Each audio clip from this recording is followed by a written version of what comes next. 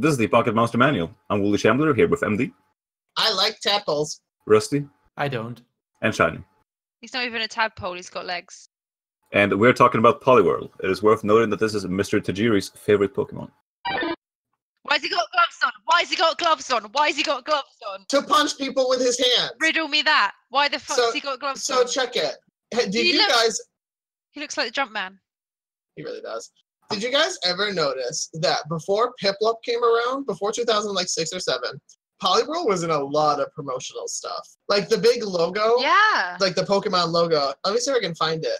He was in it. Like he is absolutely Satoshi Tajiri's favorite Pokemon, and frankly, I can't blame him. I, It's kind of weird that it's not Poliwag or Poliwrath to me, but I don't know. I think Well, Poliwrath's too Poliwrath's too angry, and Poliwag doesn't have any gloves on. yeah, So Poliwhirl is so friendly looking. It's hard to explain, but I love its design. he doesn't have any eyebrows. yeah, or a mouth. Before we get into the Pokedex entries, let's talk about Poliwhirl's mouth. Where is it? Let's see if it explains it. Perhaps he feeds through his ace. No, that's gross. I mean, it says that he eats things in the dexes, so He just absorbs it through his skin. that's disgusting. You just gotta slather him with the with the meats. And the swirl on its belly subtly undulates. Delete. Yeah, I was about to read that. Staring at grass like causes drowsiness. In the anime, it shows Poliwhirl blasting a water gun from the center of its swirl. Oh my god, it had a colostomy? That's fucked up, man. Yeah. Fucked up if true. I don't like it. Did you know Poliwhirl, Poliwhirl sweats to keep its body slimy? You. I'll be honest, I love Poliwhirl anyway. Yeah. He's he is so he learns Earthquake. Did you know that? I do now. There might be a. I mean, a lot of people learn Earthquake, but a lot of Pokemon learn Earthquake, not people. But Yeah, but like it's still really funny to like think about the ones that can and look at him, and Yeah. he does. He's quite literally a greasy boy. Yep. Yep. He's always wet and slick with an oily fluid.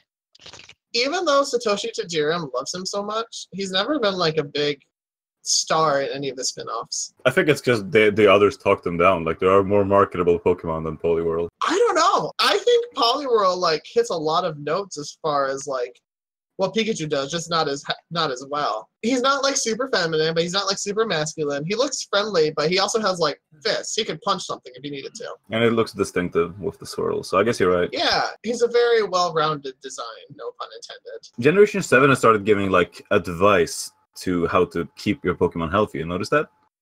Yeah, I agree. Yeah, No, I gotta haven't. moisturize him. But why don't you just make him go for a run so he sweats? Ew, gross. So it would provide his own grease.